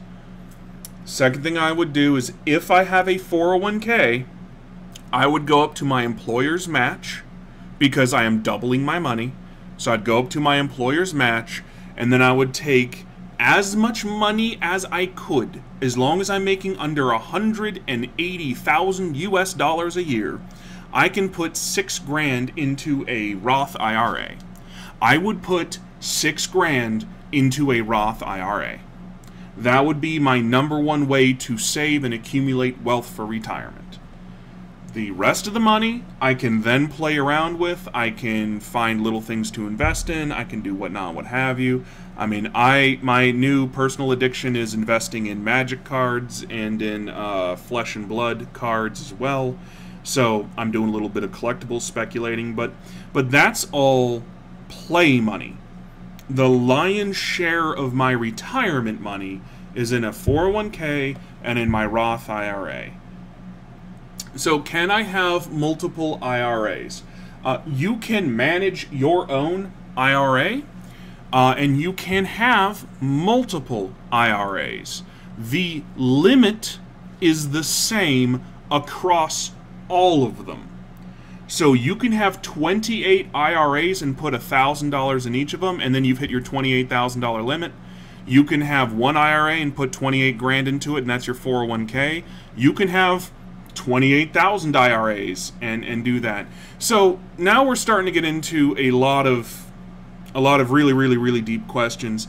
If you are self-directing your IRA, yes, you can use it to buy property. Uh, let me just double check that.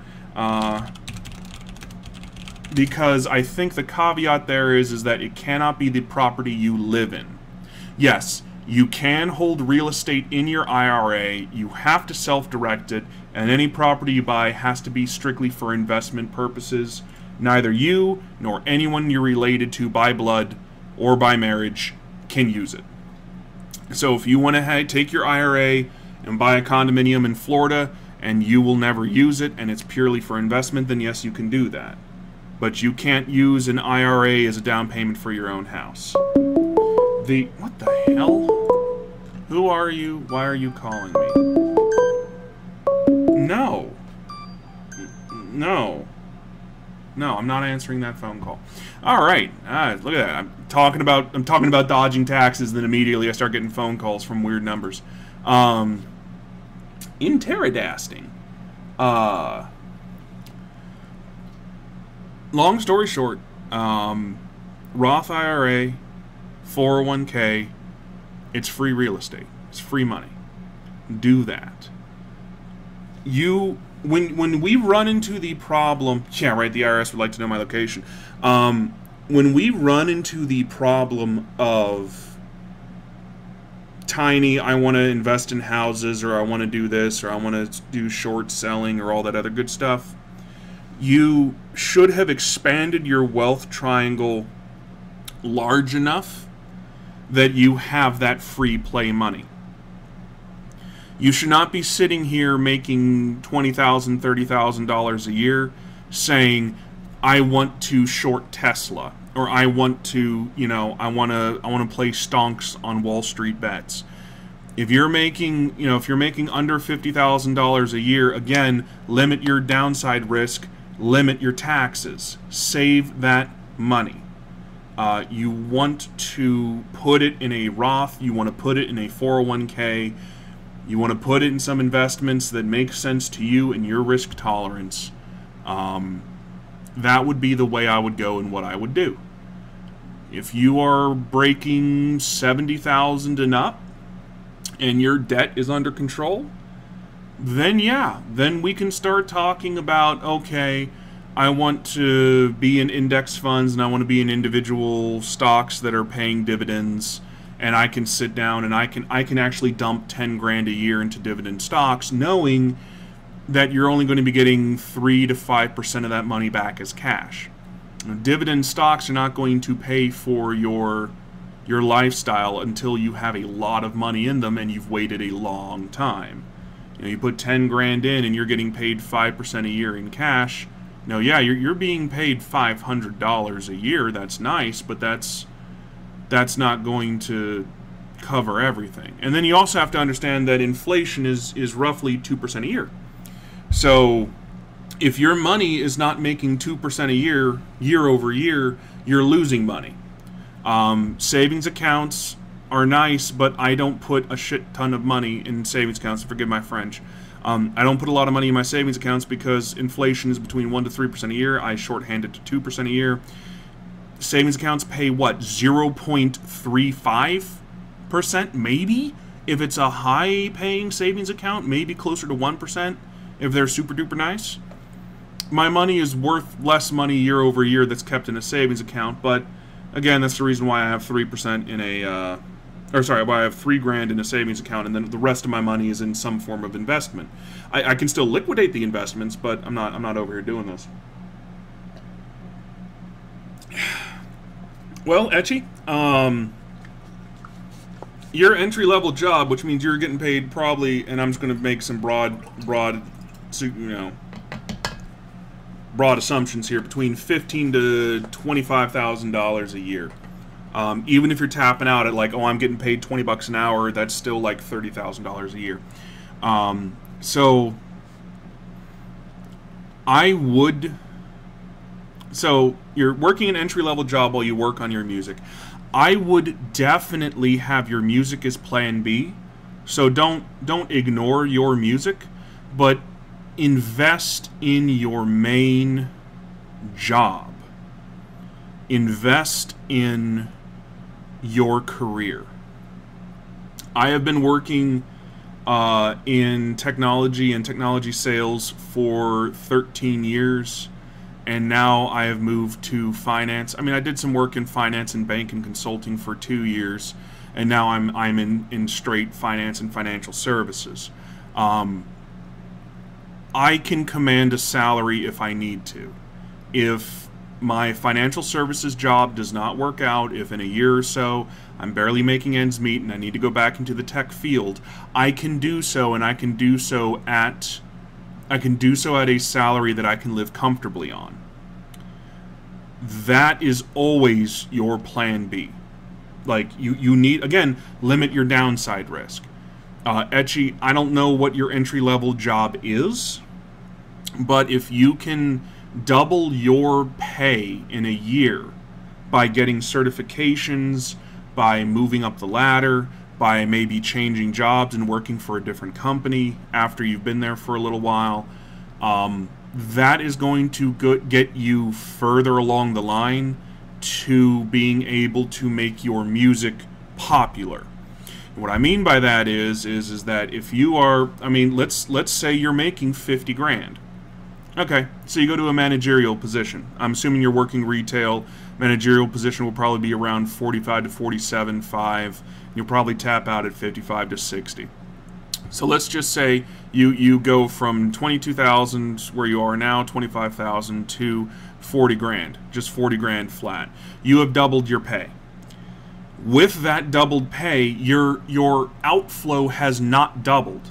If you are able to stop lifestyle creep, because now that you have all this money, you can go do all this stuff.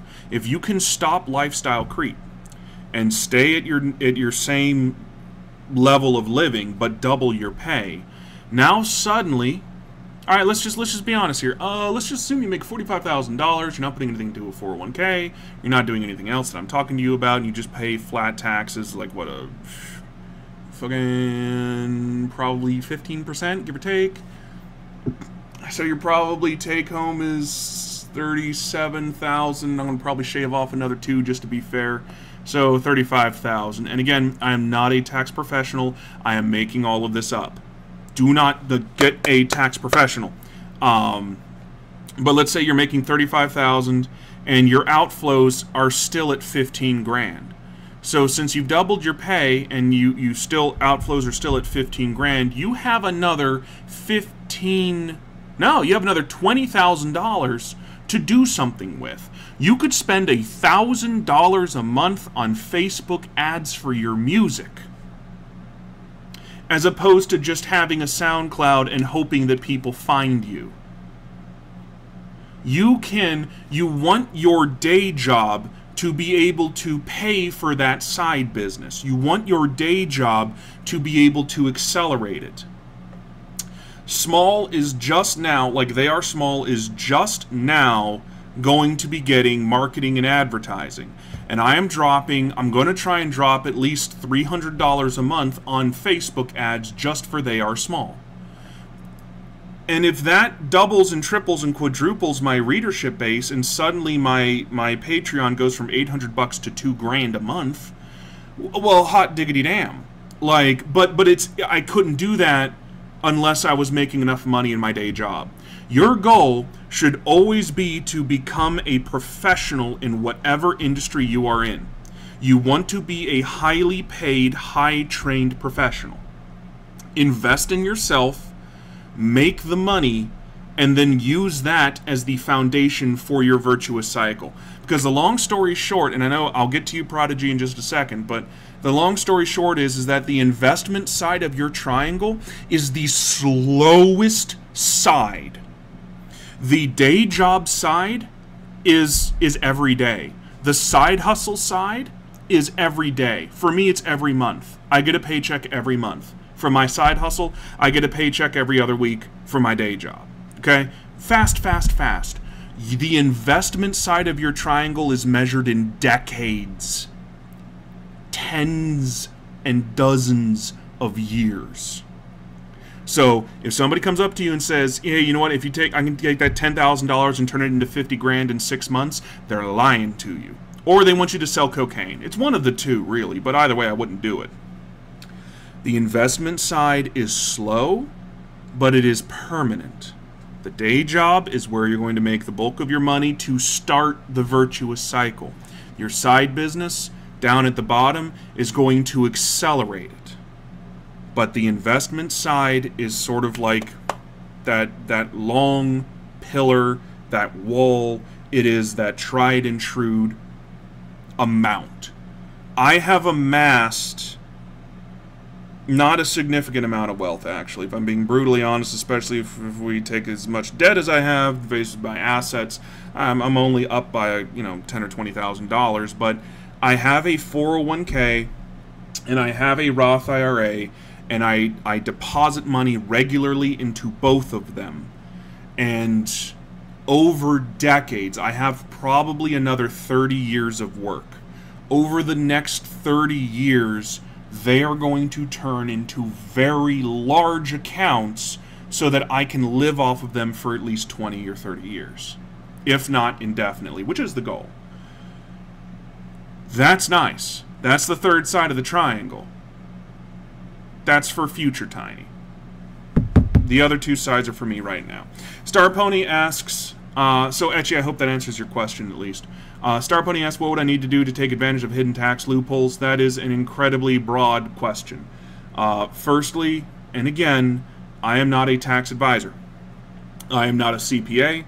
I failed accounting. Don't, do not, if you, if you have tax questions, you need to partner with a tax advisor because the tax loopholes, quote unquote, that I know of are completely dependent on my situation. So, for instance, I have student loan debt. I can write off the interest I pay in student loan debt from my taxes. If you do not have student loan debt, well, then that doesn't matter to you. And even then, that's not really a hidden tax loophole. It's just, it's a deduction. It's almost a standard deduction on your taxes. Um, It all depends on the state that you're in. State taxes are different, man. I don't know. I don't know what you're doing or how you do that. Um, but but it is what it is. Ooh, Catherine's only giving me ten more minutes. All right, that's fine. Um, pretty high level stuff. Starting from the bottom is considerably harder for obvious reasons. If you can't currently rely on all of the quote unquote compound interest, where do people find the grit to stop and prevent lifestyle creep?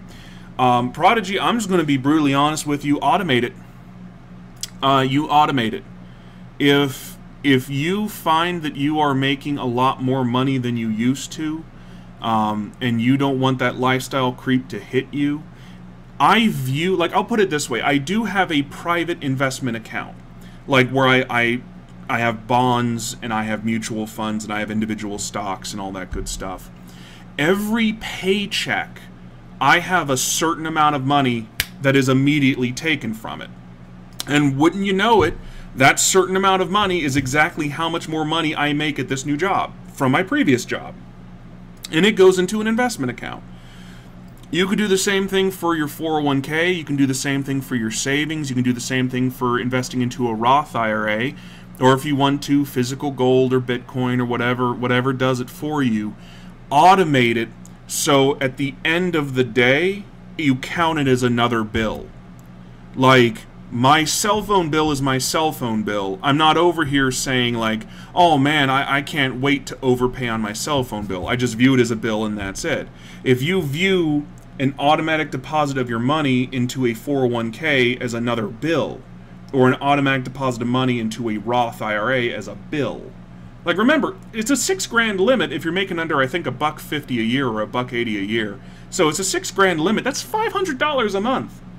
If you're getting paid uh, every other week, you know that's a two hundred and fifty dollar bill a week or every other week.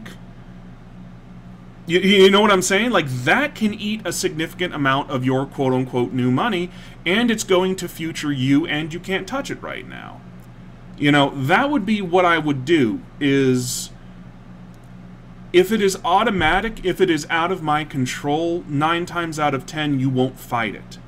So the reason why people don't fight a lot of things is because they just view it as out of their control or that's just the way things are and then that's how it is. So if you want to stop lifestyle creep, make it automatic. You know, if you do have outstanding student loan debt, make it so that you automatically overpay on it. So every paycheck, there is another $80 draft from your bank account, and it pays down your, your Fannie Mae, Freddie Mac loan, or whatever it is. And then at the end of every month, you pay your normal amount. You know, if you have a house, same thing. If you have a car, same thing. That kind of stuff will not only stop lifestyle creep, but it will accelerate you getting out of debt. Um, and that's probably, I guess we'll leave it there because, again, I think I've got like seven minutes left. I know it's where I'll leave it for this question. Um, getting out of debt is going to be one of the best things you can do for yourself. Because uh, debt is not leverage. Uh, there is a difference between the two. Debt hurts you so if you think about it, not only is a percentage loss harder to recoup, um, but you are being dinged a significant percentage loss on any debt you have outstanding, and you're also losing that money as opportunity cost from any future loans. So if I have a $10,000 loan that's at 5% APR, not only am I bleeding 5% a year on that 10 grand, which is not a small amount of money, but then, if I could have put that money into an account that would have made me 2 or 3%, well, it turns out that loan is actually costing me 7% on my money.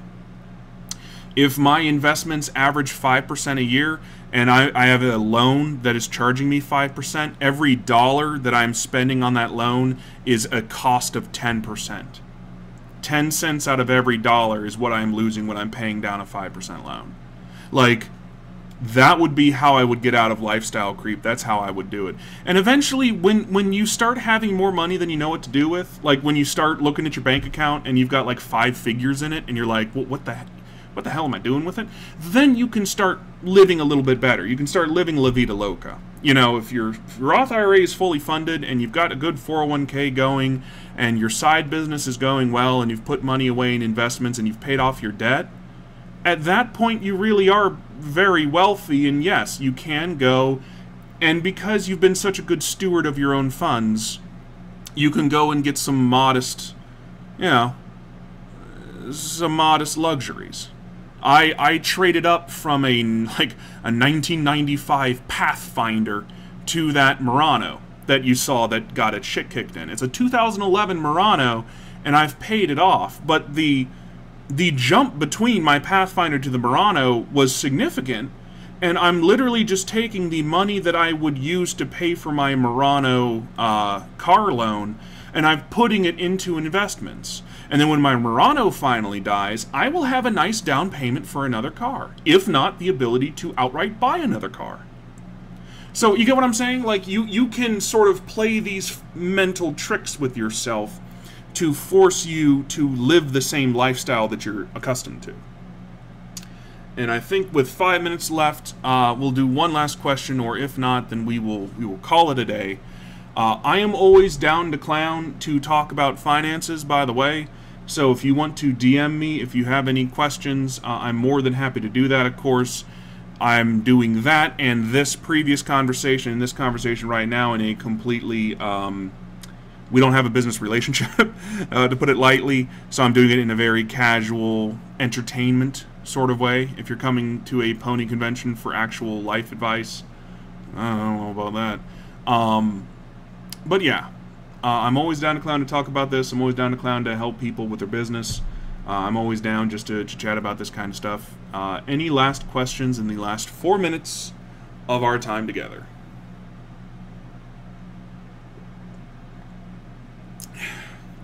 And Twitch having a 40 second delay is just incredible.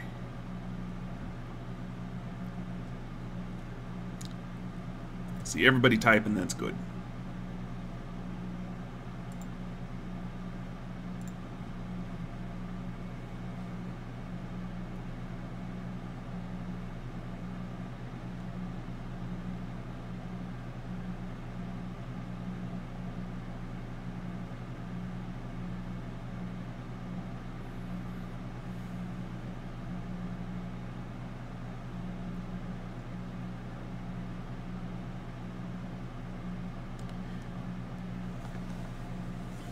Oh, I'm glad I could. Uh, glad I could give you guys some food for thought. Financial success stories. I mean, they they wildly vary uh, from from place to place and person to person. Anything from uh, reducing overall debt to paying off credit cards. I have a I have a friend of mine that um, I basically helped her get to just her inflows equaled her outflows and she lives she works in a very stable environment so that's fine but every year she gets a bonus. Um, and so we started to take that bonus and instead of applying it to to anything you know that she wanted to buy we would just take that bonus and just completely eat debt. Um, this month she's now completely debt free uh, save for her student loans which are at 2% which doesn't really matter to her. Uh, she's paid off her car she's paid off the credit cards she's paid off the personal loans. She's now completely debt free and now she has all of this extra money coming in every month to, to have a lot of fun with. Um, I can tell you some more if, if you want, that's fine. Setting up a side income as an LLC or Canadian equivalent. Um, I run They Are Small as a sole proprietorship because uh, personally running it as an LLC is not going to be worth the hassle. It, it, it, I can run it as a pass-through LLC if I really wanted to, but again, now you're starting to ask tax consequences because that's the only reason why you incorporate in, to begin with is to set it up as tax. So the way I see it, um, the only reason why you need a corporate shell is one of three things. Either one, you don't want to be physically tied to what you do. You want to have a moniker or something along those lines. Number two, it's more advantageous for taxes, in which case you will need to talk to a tax provider. Or number three, you are selling or providing something that provides a significant litigation risk. If you are a masseuse, you're a chiropractor, you're selling bath water, um, whatever it is, uh, you want the corporate legal shell to protect you and your assets personally from anybody suing you for malpractice or sickness or death or something like that. Those are the only reasons why you would need a corporation. Outside of that, if you're a writer, if you're you know, if you're a songwriter, or whatever it is, and and we're at the level that we're at, again, not making tens of thousands of dollars a year, you're just sort of hanging out with me, you know, in like the sub 10k club, run it as a sole proprietorship. It's totally fine. It's not a big deal. When you do become a big deal, you will run it as a corporation because that will provide tax benefits. So, that is my recommendation, and we are exactly at 10 o'clock, and I think we are good to go. Uh, and let me just, uh, Catherine, go ahead. So yeah, uh, thank you all for showing up. Thank you all for being here. Um, yeah, it was it was a pleasure.